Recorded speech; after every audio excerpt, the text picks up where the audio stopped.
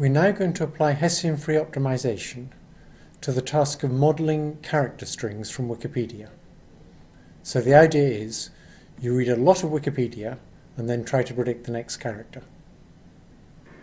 Before we get to see what the model learns, I want to describe why we need multiplicative connections and how we can implement those multiplicative connections efficiently in a recurrent neural network. I need to start by explaining why we chose to model character strings rather than strings of words, which is what you normally do when you're trying to model language. The web is composed of character strings.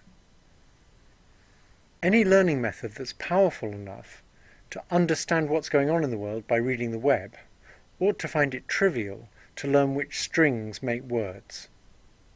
As we'll see, this turns out to be true. So we're going to be very ambitious here. We want something that will read Wikipedia and understand the world. If we have to pre-process the text in Wikipedia into words, it's going to be a big hassle. There's all sorts of problems. The first problem is morphemes. The smallest units of meaning, according to linguists, are morphemes. So we're going to have to break up a word into these morphemes if we want to deal with it sensibly. The problem is it's not quite clear what morphemes are. There's things that are a bit like morphemes, but that a linguist wouldn't call a morpheme. So in English, if you take any word that starts with the letters SN, it has a very high chance of meaning something to do with the lips or nose, particularly the upper lip or nose. So words like snarl and sneeze and snot and snog and snort. There's too many of these words for it just to be coincidence. Many people say, yes, but what about snow? That's got nothing to do with the upper lips or nose. But ask yourself, why is snow such a good word for cocaine?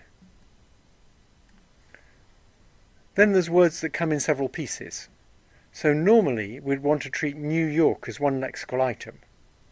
But if we're talking about the new York Minster roof, then we might want to treat new and York as two separate lexical items. And then there's languages like Finnish. Finnish is an agglutinative language, so it puts together lots of morphemes to make great big words. So here's an example of a word in Finnish that takes about five words in English to say the same thing. I have no idea what this word means, but despite my lack of understanding, it makes the point. So here's an obvious kind of recurrent net we might use to try and model character strings.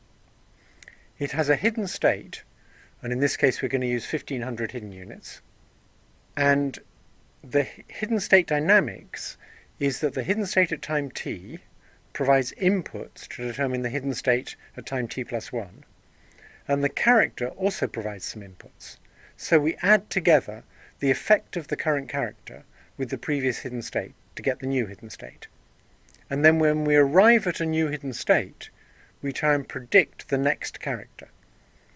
So we have a single softmax over the 86 characters, and we get the hidden state to try and assign high probability to the correct next character and low probability to the others.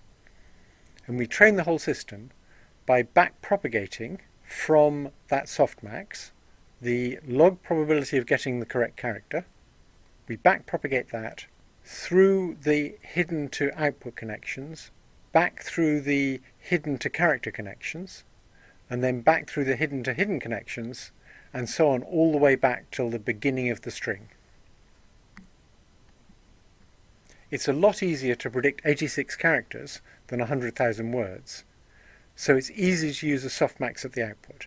We don't have the problem of a great big softmax. Now I want to explain why we didn't use that kind of recurrent net, but instead used a different kind of net that worked quite a lot better. You could arrange all possible character strings into a tree with a branching ratio of 86 in our case, and what I'm showing here is a tiny little subtree of that great big tree. In fact, this little subtree will occur many times but with different things that are represented by that dot dot dot before the fix. So this represents that we had a whole bunch of characters, then we had f and then i and then x. And now if we get an i, we're going to go to the left. If we get an e, we're going to go to the right, and so on. So each time we get a character, we move one step down in this tree to a new node. There's exponentially many nodes in the tree of all character strings of length n. So this is going to be a very big tree. We couldn't possibly store it all. If we could store it all, what we'd like to do is put a probability on each of those arrows. And that will be the probability of producing that letter given the context of the node. In an RNN, we try and deal with the fact that the full tree is enormous by using a hidden state vector to represent each of these nodes. So now what the next character has to do is take the hidden state vector that's representing a whole string of characters followed by fix and operate on that hidden state vector to produce the appropriate new hidden state vector if the next character was an i. So when you see an i, you want to turn the hidden state vector into a new hidden state vector. A nice thing about implementing these nodes in this character tree by using the hidden state of a recurrent neural network is that we can share a lot of structure. For example, by the time we arrive at that node that says fix, we may have decided it's probably a verb. And if it's a verb, then I is quite likely because of the ending ing, and that knowledge that I is quite likely with a verb can be shared with lots of other nodes that don't have fix in. So we can get I to operate on the part of the state that represents that it's a verb, and that can be shared between all the verbs. Notice that it's really the conjunction of the current state we're at and the character that determines where we want to go. We don't want I to give us a state that's expecting to get an N next if it wasn't a verb. So we don't want to say that I tends to make you expect an N next. We really want to say, if you already think it's a verb, then when you see an I, you should expect an N next. It's the conjunction of the fact that we think it's a verb and that we saw an I that gets us into this state labelled FIXI that's expecting to see an N. So we're going to try and capture that by using multiplicative connections. Instead of using the character inputs to the recurrent net to give extra additive input to the hidden units, we're going to use those characters to swap in a whole hidden to hidden weight matrix. The character is going to determine the transition matrix. Now if we did that in the naive way, we'd have each of the 86 characters define a 1500 by 1500 matrix. And that would be a lot of parameters. If we have that many parameters, the net's likely to overfit unless we run it on a huge amount of text for which we might not have time. So the question is, can we achieve this kind of multiplicative interaction where the character determines the hidden-to-hidden -hidden weight matrix using many fewer parameters by making use of the fact that characters have things in common. For example, all of the digits are all quite similar to each other, in the way in which they make the hidden state evolve. So we want to have a different transition matrix for each of those 86 characters, but we want those 86 character-specific weight matrices to share parameters. And that's a reasonable thing to do because we know that characters 8 and 9 should have very similar transition matrices. So here's how we're going to do it. We're going to have things called factors and they're going to be denoted by this little triangle with an F above it. What that factor means is that group A and group B interact multiplicatively to provide input to group C. So what each factor does is it first computes a weighted sum for each of its two input groups. So we take the vector state of group A, which I'll just call A, and we multiply that by the weights on the connections coming into the factor. In other words, we take the scalar product of the vector A and the weight vector u. And that gives us a number at the left-hand vertex of that triangle.